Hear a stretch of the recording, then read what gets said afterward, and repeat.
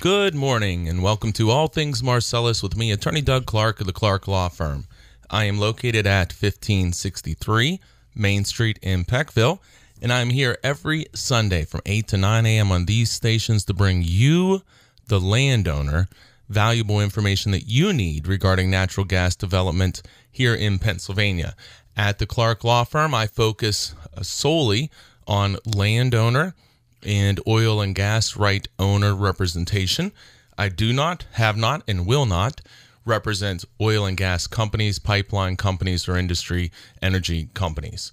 Uh, at the Clark Law Firm, I represent clients for oil and gas leases, pipeline agreements, royalty and royalty dispute and deduction issues, uh, estate planning, doing more of that, also, uh, gas lease amendment modifications, where the company wants to amend, modify, or extend your existing gas lease. And we're also starting to see, I'm going to talk about this some today, where companies are looking to amend, alter, extend, or enter into new pipeline right of way agreements after an agreement has already been executed and in place.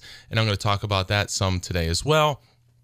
Also, uh, well pads. Uh, if you're going to be getting a well pad or any surface uh, facility, often those are called surface use agreements, well pad agreements, work on those all the time. Uh, as well as meter site, compressor station, uh, essentially any and all agreements or other matters related to oil and gas, natural, or excuse me, oil and natural gas development here in PA. Uh, if you need representation, you can always contact my office directly at 570 307 0702. That's 570 307 0702. And also, whether you need uh, representation or if you're looking for what I consider to be high quality information, you can go to my website at pagasleaseattorney.com. That's pagasleaseattorney.com. You can also go to pipelineattorney.com. We have two websites out there. Obviously, the uh, pipeline website is really dedicated more to pipeline issues, uh, where the PA Gas Lease Attorney.com website is uh, dedicated to all gas development and, of course, uh, pipeline issues as well. So check out PA Gas Lease Attorney.com, PipelineAttorney.com. Also, what we're doing, what we do is, I've been doing the show now for, boy, I guess we're about uh, around five and a half years at this point. So uh, we archive prior radio shows. So if you miss today's show or you listen to today's show, you say, hey, that sounds pretty good. I want to check. I wish I heard other shows. You can go to the websites. We have them archived there and available uh, for the last around a year or so, I think. I'd have to check to get the exact number, but we don't want to keep them all up there because information gets stale uh, you know what happened and what's relevant uh, two years ago, three, four, five may not be the same situation, same market conditions that we have today.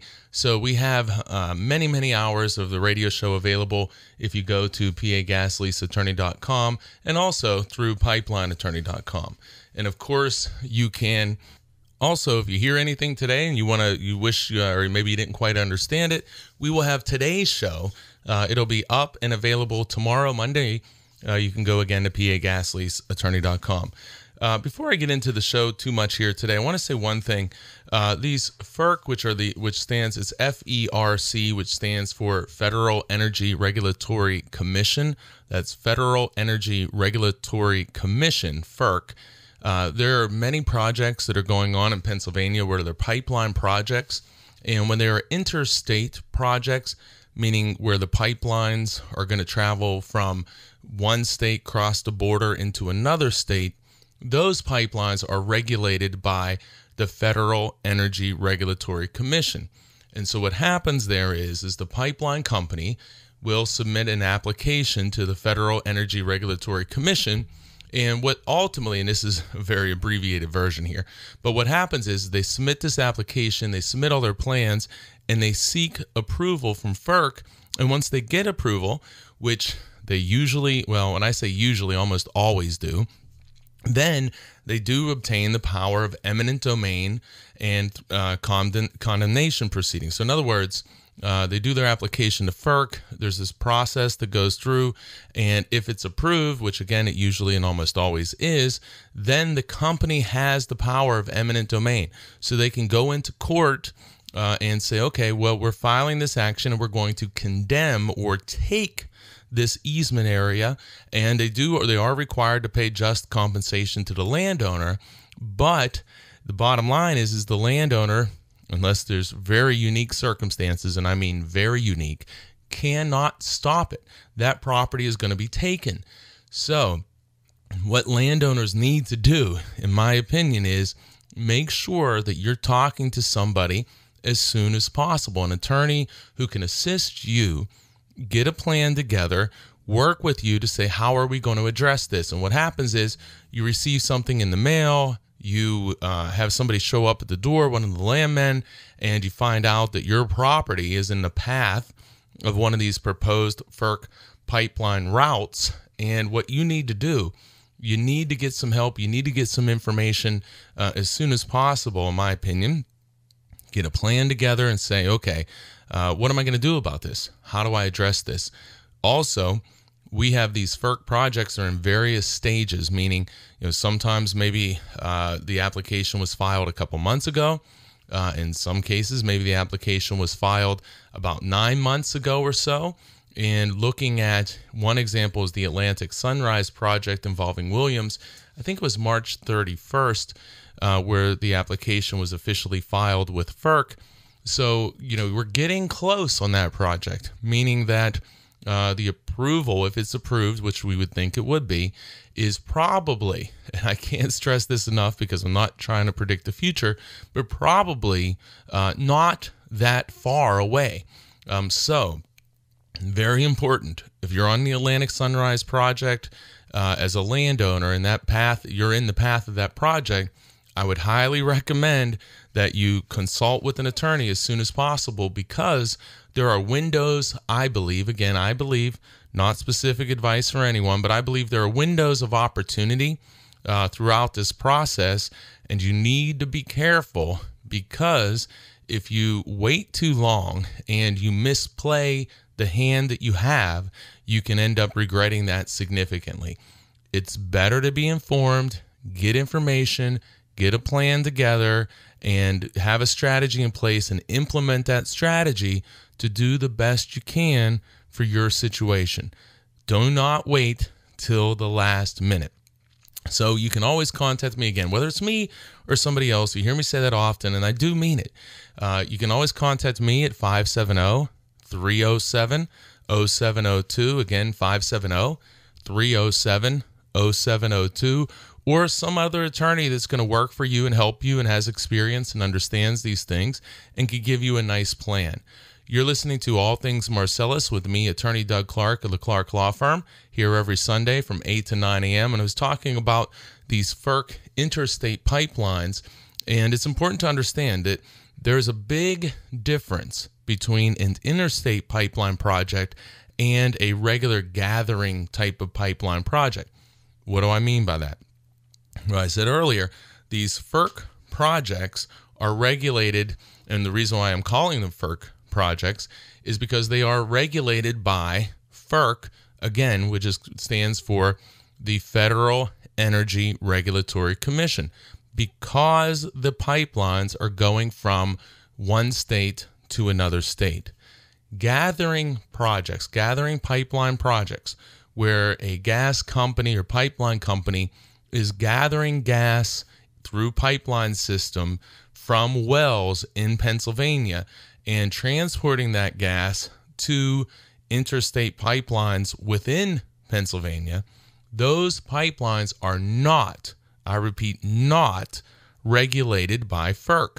So, in those projects, as a general rule, now, again, general rule, the company does not and cannot get eminent domain authority. So, super critical to identify the type of project that's involved that's impacting your property Is it a project where a company may have the ability to obtain eminent domain and condemnation?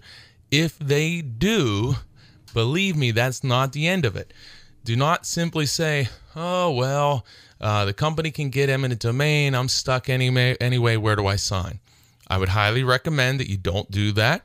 I would recommend that you consult with a knowledgeable attorney with experience in these types of cases because in every say this in every FERC project that I've ever worked on, I believe uh, our clients have obtained higher compensation than what was offered and also obtained additional terms or language to be added to that agreement to make it a better, more landowner friendly agreement. So it's not the end of the world. It's not great. You know, you don't want to have, in my opinion, my opinion, you don't want to have the company knocking your door and say, hey, uh, we're going to put this interstate pipeline in and your property is in the path. Generally speaking, most people aren't happy about that. But at that point, you say, okay, well, what am I going to do? Not happy about it. How do I make the best of it? Get yourself a good attorney who can assist you, get you a plan. And what I do a lot of times, you've heard me say before, with these FERC projects, we usually start with an initial consultation and review where we look at your situation, look at who the company is, what's offered, uh, give you the background, what I've seen with this company, the types of offers that I've seen, and we work on developing a strategy to put in place for you, the landowner, answer your questions and concerns. You know, the number one thing whether it be pipelines, gas leases, royalties, you know, whatever it is. My experience has been the number one issue and problem facing landowners is lack of good quality information from the landowner's side. You know, we need you as the landowner to get, and you need good quality information to allow you to make the best decision in your situation. And that's a big problem. You know, there's not, and that's one of the reasons why, you know, I do the show and I enjoy doing is to try to get this information, make people think, uh, get you, you know, to say, okay, well, this is, all right, well, this is my type of situation. What do I do about it? Well, or hey, you know what? I think I heard that guy on the radio talk about this. Um, maybe I'm going to go back to his website and go back and listen to that radio show and get a plan together. Uh, you know, that's what you need to do. Good quality information. You cannot, you cannot rely on the gas company, pipeline company, landman to provide you good quality information for you on the landowner side. Why? Because here it is coming early. Because the landman works for the company, not for you. So, certainly, there's information that the landman is going to tell you that's going to be very valuable to understand the project, what's going on. You know, you get all the information that you can. I'm a very big believer in that. Then you turn and you say, okay, I'm going to know now, I'm going to take this information, I'm going to go maybe have a consultation, a review with an attorney, sit down and understand my rights from my side, from someone who's working for me. You know, very, very important. So these FERC interstate pipelines, there are several projects going on now across the state. And we want to make sure that people are being informed, learning their rights. The earlier, the better, but it's never too late. You know, that's a key point. The earlier you learn your rights, the earlier you get a plan together, the better it is for you. However, you're sitting there, you say, well, geez, I was contacted. I'm on the I'm on the Atlantic Sunrise. I've been sitting here, and I never called an attorney. I never did anything, and now here we are. Uh, it's been nine months. It's been seven, eight, nine months since they filed. Well, I might as well sign. Listen, it's never too late. Get yourself an attorney, get some good advice, someone that knows what they're doing, and someone that can help you out. If you are interested, and again, I'm sorry, I don't want to make it a commercial, but uh, 570, you can contact our office, Clark Law Firm, 570 307 0702. But if you don't call us, call someone. Do not just simply sign documents. Learn your rights. And you know, look, you don't, whether any attorney, you shouldn't have to sign up for something long term. Get yourself an initial review and consultation, learn your rights. Then, if you want to do something further, then you can. If you don't, you don't have to. But at least do that. Do yourself a favor and do that. You're listening to All Things Marcellus with me, attorney Doug Clark from the Clark Law Firm. I'm here again every Sunday from 8 to 9 a.m., and I'm going to be right back after this break. Welcome back to All Things Marcellus with me, attorney Doug Clark of the Clark Law Firm. You know, I just want to go back and touch on. I was going to be done with the FERC and the pipelines, but I just want to touch on again. It, it's so important when you, as a landowner, are contacted by a landman or a company to sign uh, any agreement, but we we are sticking with pipelines for now.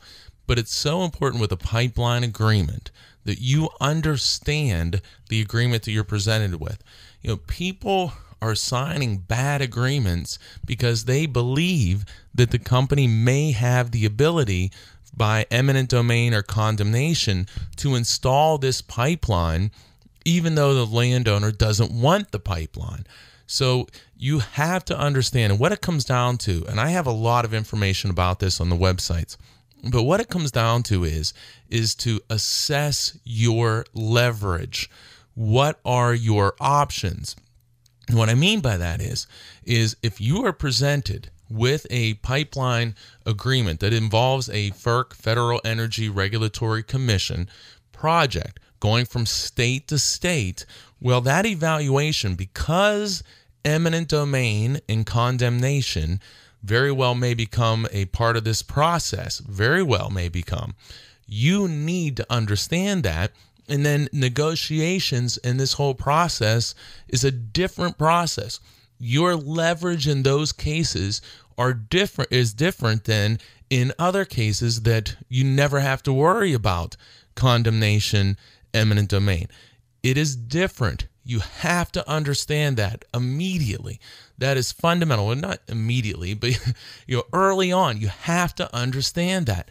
Now, on the flip side, I mentioned these gathering pipeline projects where the company wants to transport gas from wells to an interstate pipeline that is within your state. Meaning, in other words, you have a major interstate pipeline that goes from let's say it goes from California to New York, and let's say it's like on Route 80, it travels right across Pennsylvania east to west. Well, the pipelines that are going to transport the gas from the various well sites to this interstate pipeline, so into to our Route 80, if you will, those pipelines are virtually never going to be able to get eminent domain status and condemn your property. Again, you got to look at every case uh, individually, but generally speaking, almost never is going is eminent domain going to come into play there you have to understand that. So right away, that creates right away. That's a little pipeline joke. Uh, immediately, that creates a different uh, evaluation process. Now, so if you're presented with a gathering pipeline agreement, so if you get a gathering agreement and you say, okay, it's not an interstate pipeline, FERC Federal Energy Regulatory Commission is not involved. I do not have to worry about eminent domain. That's a very nice first step and part of this assessment of leverage. Assessment of leverage is very detailed, very complicated. There are many, many factors. And again, you can go to pagasleaseattorney.com, pipelineattorney.com, things to look at, things to consider. But there are many, many parts of uh, assessing leverage, and certainly too many to get into in any radio show. But easy, basic, fundamental stuff here understand is it an interstate pipeline project or is it a gathering pipeline project? The vast majority of right of way agreements that are going to be presented to landowners are going to be gathering pipeline projects for gathering pipelines, meaning for pipelines that are going to transport gas from well sites to an interstate pipeline within Pennsylvania, where then that gas is going to be shipped uh, across the country, across the region, to northeastern United States, wherever, but it's going to be transported through the interstate pipeline system. So we have thousands and tens of thousands of miles of gathering pipelines because you can think of it as spider webs you know, getting this gas from the various well sites to the main pipelines that are going to be carrying it from state to state. And these interstate pipelines, they'll give you an idea. You know, the interstate pipelines tend to be, you'll see typically 30, 36 inch in diameter. It's pretty big. Gathering pipelines are tend to be maybe six inch, eight inch. Uh, sometimes you'll see some bigger ones. Uh, maybe you might see a 24, uh, 16 inch, but generally speaking, you're going to see, well, they're always going, almost always, virtually always, going to be smaller pipelines.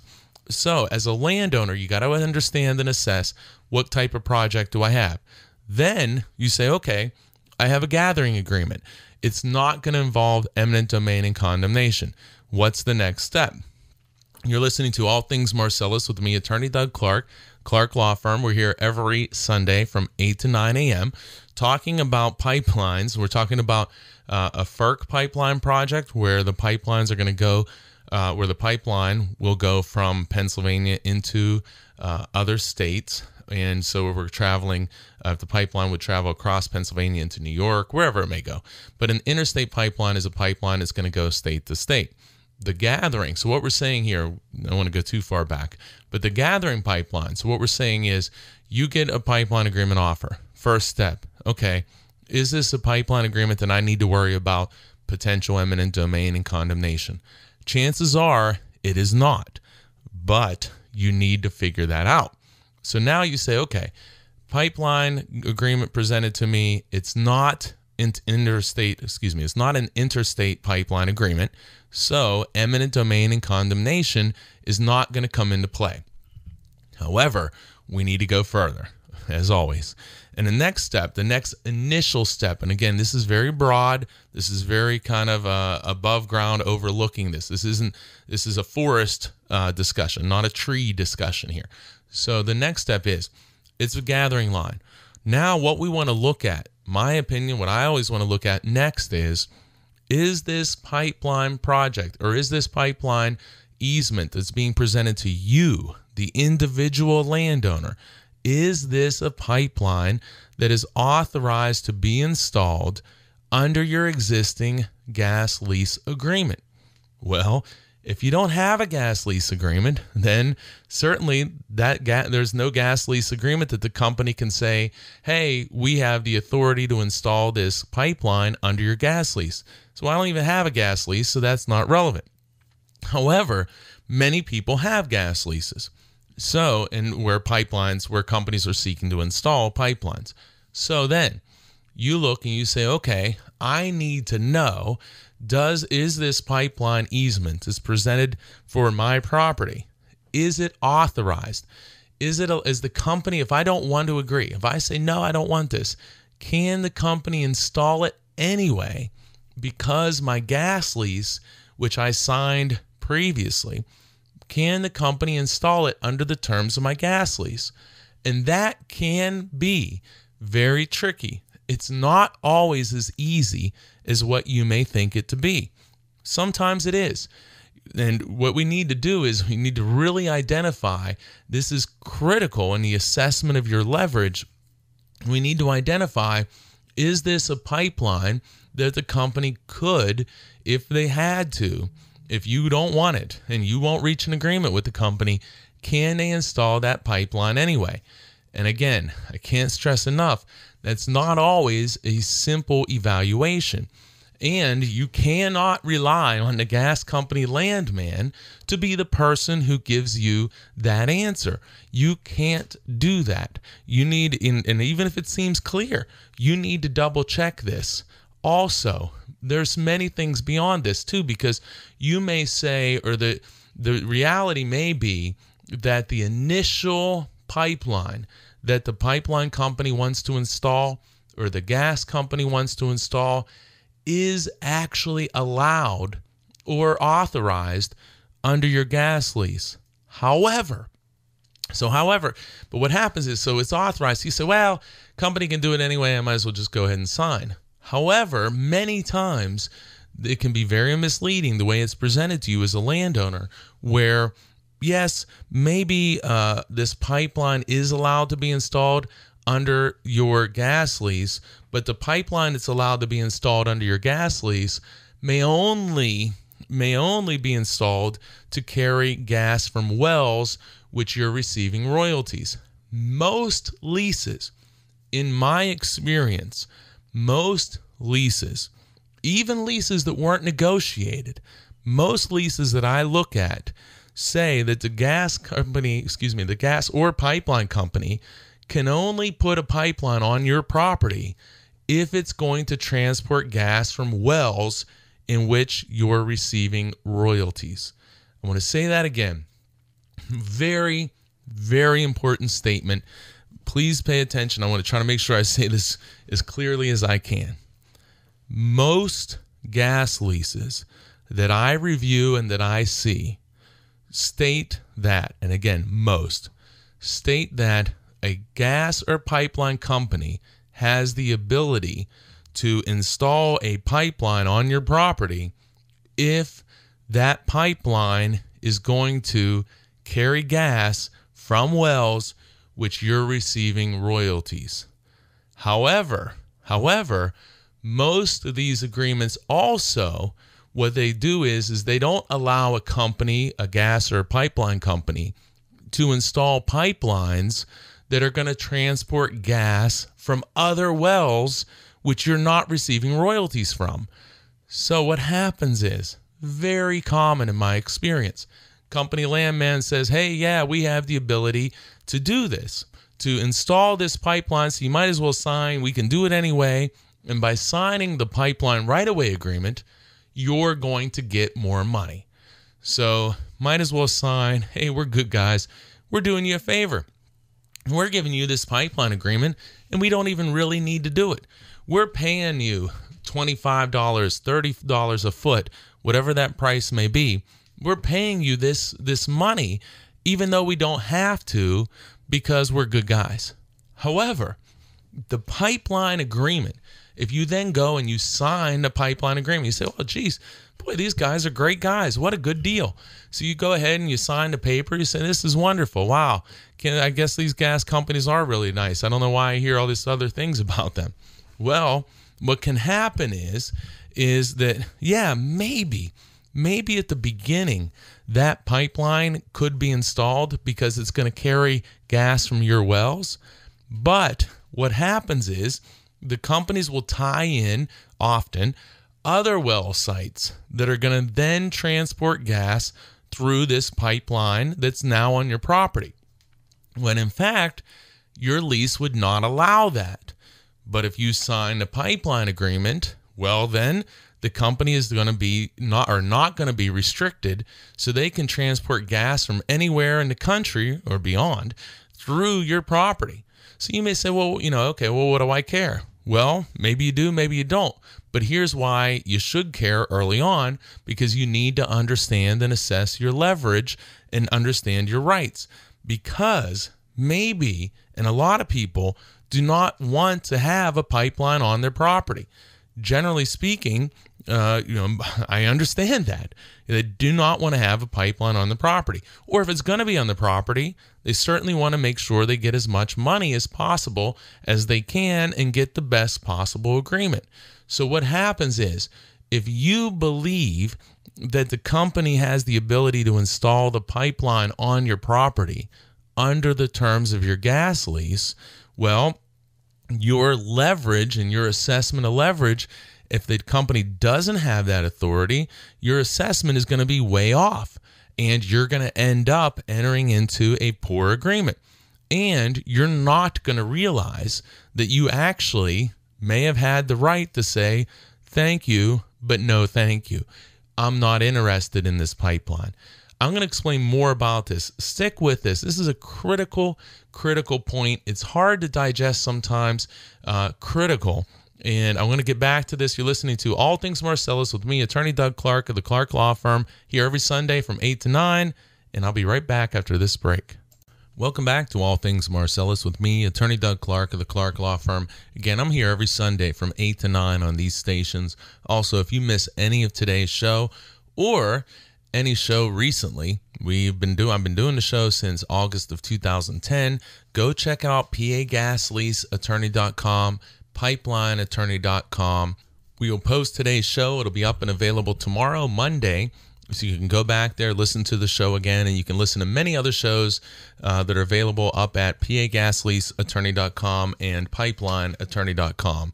Also, really encourage you if you've not been to pagasleaseattorney.com or pipelineattorney.com, go check it out you you spend a day on there, I believe, and get you know look, learn, get good information whether you need representation or not. I think it's a really good resource for all Pennsylvania landowners.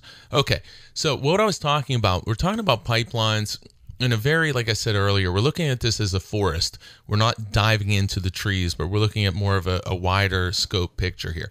So what what I'm talking about is um, assessing leverage, which is such an it's the most critical thing uh, when you're involved with pipelines.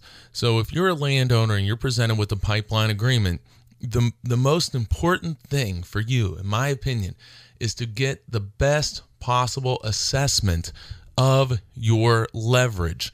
What are your options? What are your rights? What can you do? Can you say no? Do you have the ability to say no? Is eminent domain and condemnation a possible part of this process? Usually it is not. Then the next step is if you have a gathering line agreement, eminent domain, condemnation is not part of this. The next step is do I have the right to say no, or would this type of pipeline be allowed to be installed under the terms of my existing gas lease? We have to then go to your gas lease if you have one. If you don't have one, it's easy. There's no right to install the pipeline. But if you don't, or if you do have a uh, gas lease, we go to your gas lease. We very carefully look at everything because it's not always as easy as what it seems. And it's very easy for a landman maybe to give an impression that something is allowed when actually maybe it is not allowed under your gas lease or what I was talking about in the last segment is, well, maybe uh, the pipeline may be allowed because it's going to transport uh, your gas from wells that you're getting royalties from, but maybe it's not allowed the same exact pipeline because it's also going to transport gas from wells that you're not receiving royalties. So, what when does that really matter? Why is that such a big concern? Well, for you as a landowner, number one, you may be able to just simply say no because you don't want a pipeline to go through your forest, your cropland, close to your house, or for whatever reason on your property. Pipelines, I can look, pipelines do not increase the value of your property. Pipelines do not increase the value of your property.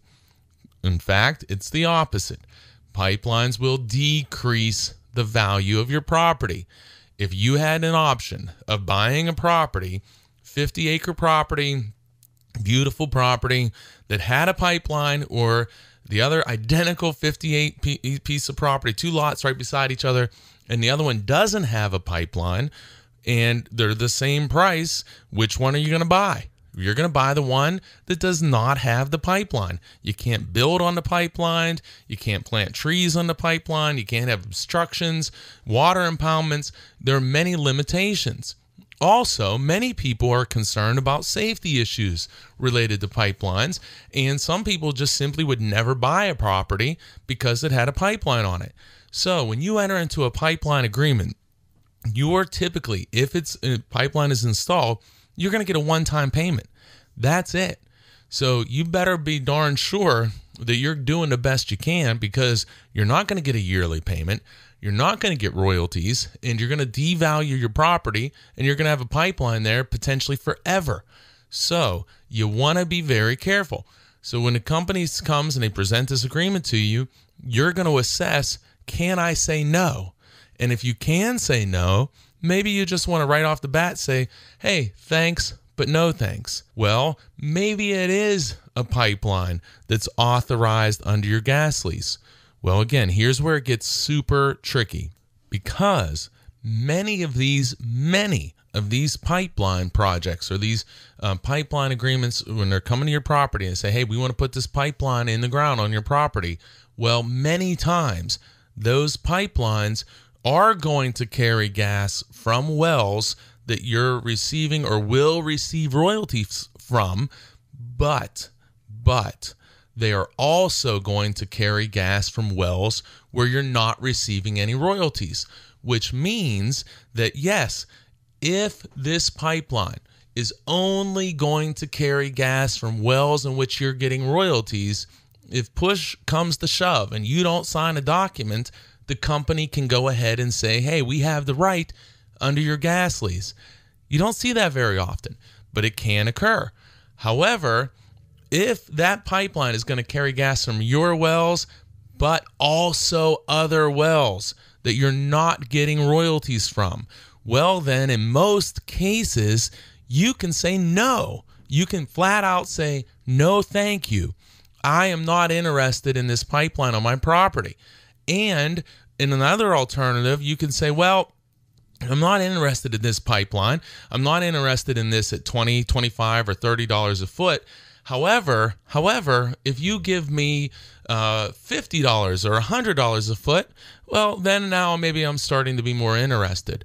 So assessing the leverage is so critical to understand that, okay, can I say no? And if I can say no, do I just want to say no and no thank you and walk away and end it?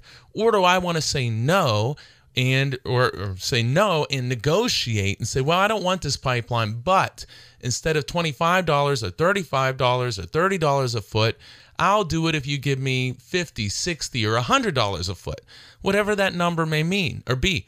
Remember, you have the ability in my example to say no. So you can just simply say no a lot of times companies will say okay well i understand you say no. Uh, is there another is there another number? Uh, would you agree if we paid you more money?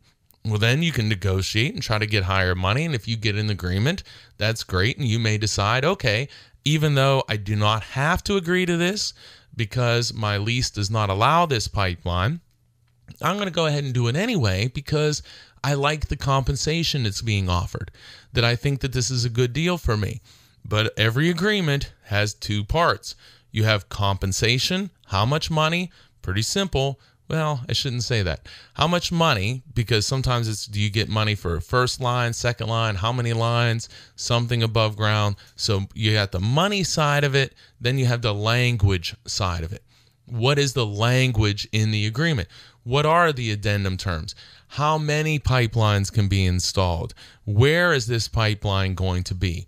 When am I going to be paid? How long of an option period? How long does the company have to either decide to install the line, to pay me? When are they going to pay me? When does this thing end or terminate? How do I protect myself from potential liability, being sued, uh, being having to defend myself in court if God forbid somebody is hurt or killed in the process of construction? A trespasser comes on the property. You need to be protected. How is it going to be reclaimed? How is it going to be reseeded? What's going to happen with the timber? Like and people don't think about this too. You know what's going to happen with the stumps uh, the the un, the non-marketable timber branches limbs things like that? Well uh, I've seen, I mean, I've sat there, I've seen, I would have really liked as a kid growing up in the country, some of these piles of stumps. I mean, just mammoth piles of stumps going through ma- uh, through pipelines uh, where they're going through uh, a lot of woods in a wooded area. I've seen these things piled up, you know, 20 feet plus high. Real fun to climb as a kid, but how long is that going to take to rot away? So you may say, hey, I don't want these stumps. I want them ground up. I want them removed. There are so many things. Where are these big stones? They're digging up big stones. They're going to pile them along this right of way. You know, what are they going to do? So there's so much more involved than just money. And two, with money, remember we have, well, how much am I going to get up front when I sign? How much am I going to get when they go ahead and install the pipeline? Well, what if they put in a second pipeline? Am I going to get paid for that? Well, you better get paid for that. How much am I going to get paid? Uh, many of those things. Can they have forever to put in a second line? There are many, many aspects to even compensation. Then you turn to the agreement. And as an individual landowner who's doing this for the first, maybe you're doing it for a second time, you know, I, I, like I'm talking about the value of experience and understanding where uh, you know you're doing this once you're talking to the company landman they've done you know hundreds of these and you have a really good chance that you may be getting taken advantage of. So experience is really valuable. Um, you, know, you learn from experience and a lot of times you know what you learn in learning from, in, in gaining experience you learn from mistakes maybe that you made or mistakes that other people have made. So you have the opportunity to see where people entered into bad agreements, how those agreements came back to haunt that landowner, and how can we correct those those problems. So in the future the landowner doesn't run into those same circumstances. All very important the value of experience. So when you're a landowner and you're trying to negotiate these terms I've seen many landowner negotiated documents, and I'll be honest, I've seen very few that I would call excellent. There are some out there, but there are very few. So, you know, I've talked to many people, oh, yeah, I did research, I did this, I did that. And we find out later, you know, those agreements that they thought that were really strong have came back to haunt them. So it's really important, like I say, whether it's me or someone else, get somebody with experience. I say often, uh, I've negotiated in pipeline projects with over with about 50, 50 plus separate companies across Pennsylvania. And I say that to give the landowners, to give you the listener and landowners the idea of what's going on. You know, the type of experience that's available out there. Uh, so when you're when you're sitting there and you're saying, "Oh, okay, you know, I got this. I can I can do this." Remember, uh, it's a, it may be a lot more complicated than you think. So whether it's me or somebody else, please get assistance. Don't go at it alone. Too many people have done that and have made mistakes. You're listening to All Things Marcellus with me, attorney Doug Clark of the Clark Law Firm. We're heading into the last segment. We're going to wrap this up. I'll be right back after this break. And again, I'm here every Sunday from 8 to 9 a.m. on these stations. Welcome back to All Things Marcellus with me, attorney Doug Clark of the Clark Law Firm. Again, if you miss any of today's show, you can go back to pagasleaseattorney.com, pipelineattorney.com. Whether you missed the, the show and you want to go back and listen to it, you want to go back and listen to a bunch of the archive shows we have, or you're just looking for good information, check out pagasleaseattorney.com, pipelineattorney.com. All right. I want to try to like bring all this back together again. And the most important thing is look, the radio show is always about trying to get information to you, the landowner. We want to make sure that you're getting information, that you're thinking about things, that you know, hopefully you're opening your mind and realizing that there are things that these companies can do that maybe you hadn't thought about. So, you know, I, I can't stress enough that this is only a primer, if you will. The most bare bones, basic things, the fundamental things that you should be looking at and trying to understand. But leverage assessment for whether it be gas lease, pipeline, we're talking about pipelines today, uh, well pad agreements, all of these things, leverage assessment is the key. And what do I mean by that? What is your leverage as the landowner? You know, you're you're going to. It's like you know, it's like almost like if you're playing poker. Uh, you need to look at your hand to see how good it is. You know, what hand do you have in this poker game? What hand do you have in these negotiations? Are you sitting there and you have essentially very little rights? In which case, then we say, okay, well, what do we do to make the best of this? Or do you have the ability to say no to this proposal entirely? Or do you, and do you, if you want, don't want to say no, or if you do want to say no, is there a financial compensation offer that would work for you? So if they're offering you $50,000 for a pipeline and you really don't want it, but hey, if they offered you a quarter million dollars, then hey, yeah, maybe this becomes a lot more attractive and you have the right to say no. You can simply say, hey, company, I don't want this pipeline thank you, but no thank you. Uh, I know you're offering me 50000 I really don't want it, but if you were willing to offer me 250000 maybe it's 150 whatever your number is, then I'm willing to talk to you. That can be a very effective strategy. So think about that. So, in a circle back, we're talking about the leverage assessment on these gathering lines. And a critical part, and I cannot possibly get into uh, all of the different um, nuances of this, but I want to talk about when you have an existing gas lease, you need to understand is this proposal allowed, authorized, or permitted under your existing gas lease? Does the company have the right to install the pipeline? I'm telling you, it happens all the time. I talk to pipeline managers at companies, at the pipeline company, not the landman, not the landman service company, but the pipeline companies who've told me, oh, yeah, we have the ability to put this in under the gas lease. So we say, all right, well, how about this then? Why don't you guys just go ahead and do that? Uh, well, uh, well, uh, uh, you know, we, we, we want to do a, a pipeline agreement. Well, why do they want to do an agreement in most cases like that? Because although maybe they can put in a pipeline under your lease, if they do that, that pipeline can only transport gas from your wells that you're getting royalties from. And the reality is, what they don't tell you is, yeah, maybe they have the right to do that, but they also want to transport gas from other wells all across your region, and they do not, in many cases, in most cases that I see, have the right to do that. So, the company landsman, understandably, this is like one of these um, half truth scenarios where, yeah, you know, it's true, but they're not telling you something uh, that's extremely important so yeah, maybe it's true that they can put a pipeline in, but the pipeline that they want to put in, they want to transport gas from all over your region or from other wells that you're not participating in, and they absolutely do not do not have the right to do that in many cases. So they dupe or trick the landowner by saying, oh, yeah, you know, this is going to transport gas from your wells. We can do it under the terms of your lease. But they don't tell you that it's also going to transport gas from other wells that you're not getting royalties from. And that's not allowed under your lease. So then in that scenario, you as a landowner can say, hey, thanks, but no thanks. I do not want this pipeline. I don't want to devalue my property. I don't like where you want to put it. I don't want it to separate my trees. I don't want to lose all these trees. I'm concerned about how you're going to reclaim this property. I'm concerned about potential future liability.